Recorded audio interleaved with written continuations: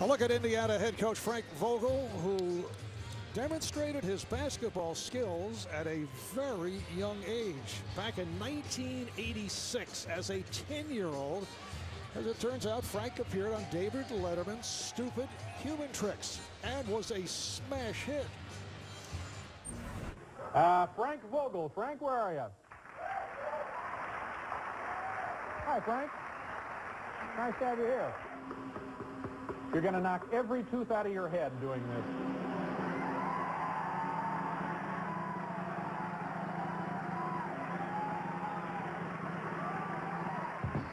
Yeah!